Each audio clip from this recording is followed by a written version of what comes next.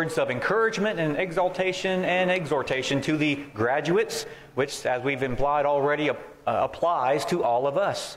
So I'll simply be reading to you a few passages, a few verses from Paul's letter to Timothy, 1 Timothy chapter 4.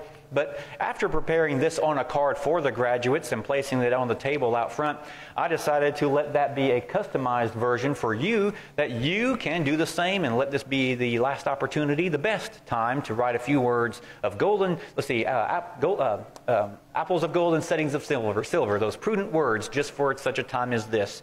And uh, these are my words to them, and of course, as to all of us with every step that we take. I remember the day that I decided to apply these words without hesitation, and that path has led me to here and this point to you right now. So bless others along the way. 1 Timothy chapter 4, verses 12 through 16.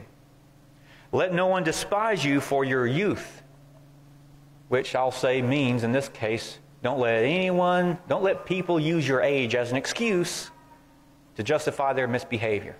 They see the example in you. But set the believers an example in all ways. Speech, everything you say, in conduct, everything you do, in love, the reason you do it, in faith, the obvious trust you have, grounded in truth, in purity, the intent of your heart to bless them with agape love.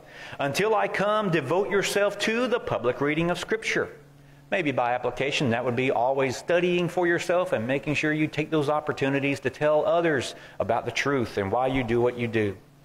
To the exhortation and teaching of all who hear.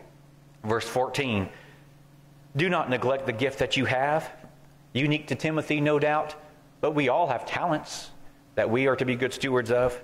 He says, which was given to you by prophecy when the council of the elders laid their hands on you. Verse 15 Practice these things immerse yourself in them. Always give yourself then to letting how you study the Word be lived out and practiced in your life, so that, and here's the key, all may see your progress and maturity of growth. Keep a close watch on yourself and on the teaching. Persist in this, for by so doing you will save both yourself and all who hear you. That's what I wish for each of you, particularly the graduates. Being a Christian in this area of my life? Yes. You mean not just an hour on Sunday morning? No. It is not just to be part of your life. Let God define your life. Those are my words to the graduates today, who will now be specifically mentioned in a few announcements uh, referenced by Steve uh, with other uh, things to focus on. And at this point, turn it over to Steve. Mother's Day. All right, I'd like to uh, run through very quickly, but yet honor these uh, high school and college graduates. And when I talk, uh, present you, would you stand where you are? And uh, we'd like to recognize you. Um, Ballard Childs, uh, he's in the back. Um, he is the parents of J.J. Uh, Childs and Jimmy Childs and grandparents Kathy, uh, Maribel, and Richard. And a lot of the family is here, and that is wonderful. Do love his shirt. It has the University of Georgia on it, so I do like that. Uh, way to go, Ballard. Uh, he is graduating from Unity Christian School. Uh, while at Unity, Ballard had uh, been a member of the student council and Robert's team, uh, robotics teams, I'm sorry. He has always been involved in sports and playing basketball, soccer, and golf. Ballard's plans after graduation include attending Kennesaw State University, majoring in political science. After graduating from Kennesaw, Ballard plans to go to law school. Um, my favorite verse in the scriptures is Psalm 23 4. Yet though I walk through the valley of shadow of death, I will fear no evil, for thou art with me, thy rod and staff, uh, they comfort me. And Ballard's message to, uh, to the family and friends and church today is thankful to my family and for my family and my friends for supporting me and helping me grow. I'm thankful for the Oak Hill family for always being there uh, for my family. Congratulations to Ballard Childs.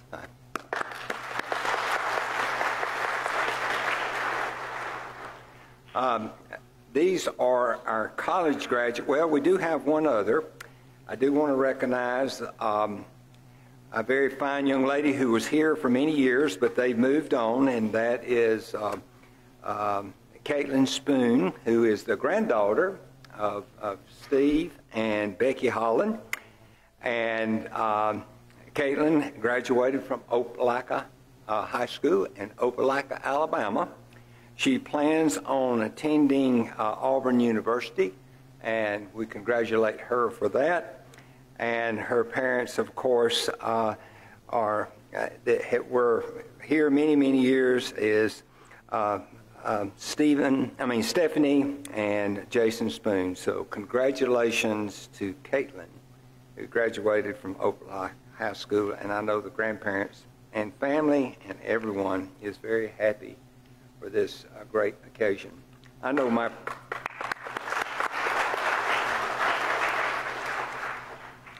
I know my parents were. I was not the best of students in college, so they were very, very happy people. Uh, I'd like to congratulate then the college, uh, Sakara Boswell Cummings. Uh, her parents are uh, Stephanie, Stephanie and Jerry Boswell. A spouse is Scotty Cummings. She graduated from Berry College School of Business on May the 5th with a master's degree in business administration.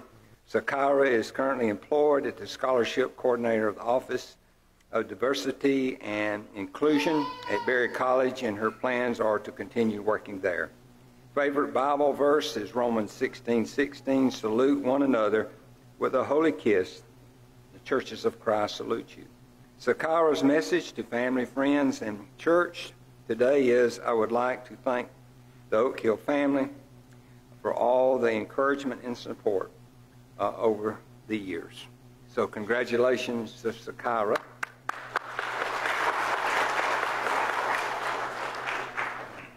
She is uh, visiting her, her family and friends, and especially being with her mother. Um, we do want to recognize Morgan Kelly. Uh, she is the daughter of uh, Wayne and Michelle Kelly, grandparents Joe and Glenelle Fricks, and uh, Linda Kelly. Uh, we uh, and her sister Lauren is here. Graduate from Berry College on May the 6th with a bachelor's degree of science and psychology and a minor in chemistry. While at Berry, Morgan was a member of the Psi Chi Honors Society and Psychology um, Honors Organization, and she served as an undergrad researcher. Her immediate plans is to work uh, with DFACS student, uh, DFCS students and Murphy Harpst Home in Cedartown after working there for one year, Morgan will return to college and work on her master's and doctorate degree in clinical psychology. Her favorite verse is Beloved, let us love one another, for love is of God, and everyone who loves is born of God and loves God. Morgan's message uh, to the family, friends, and church family is thank you for all your constant support and cards during a challenging time in my life. It means so much. Congratulations, Morgan.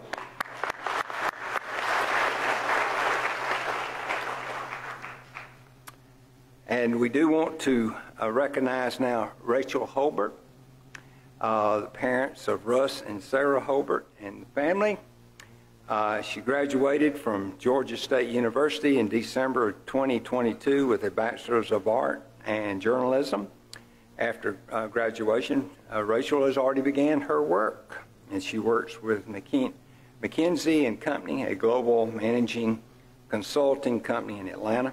Her favorite verse is, For I consider that the suffering of the present times are not worth uh, comparing with the glory that will be revealed to us. Rachel's message to family, friends, and church today is I want to thank my church family, my personal family, and all the love, kindness, and support of great um, advice they have given me. I love you all. Congratulations, Rachel Holbert. Certainly, thank you for your time. I did want to be sure to recognize these high school and college graduates, and we are so thankful for their determination and the family and love and, and uh, support from not only church family, personal family, and uh, so thankful for this opportunity. The other opportunity, very quickly, I'm wearing a, a number of hats uh, involved with the uh, Rain Tree Village effort in Valdosta that houses young men and young women. They're involved in uh, counseling, uh, adoption, um, are not experiencing mamas today. so we are reaching out uh, for our annual uh, contribution uh, toward uh, Rain Tree Village in Valdosta, Georgia, and certainly today is an opportunity if you'd like. Next week, uh, on the board of the Georgia Agape, involved in uh, adoption of children as well as foster care and counseling. So that will be for next week but that will be afforded opportunities for you as well. In closing, I do want to recognize a young uh, a mama for for the third baby, which is great. Uh, his name is Ajax Cephas Lim. He was born March the 9th, 2023 at 9:11 a.m. He, he weighed six pounds and 11 ounces, and he's the proud parents of Weldon and Kristen Lim, big sister Argyle, and big brother is Atlas. If they would stand, we will recognize this wonderful family.